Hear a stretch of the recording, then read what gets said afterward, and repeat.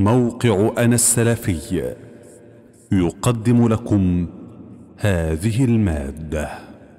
سورة قاف. قوله تعالى فذكر بالقرآن من يخاف وعيد. هذه الآية تدل على خصوص التذكير بالقرآن بمن يخاف وعيد الله.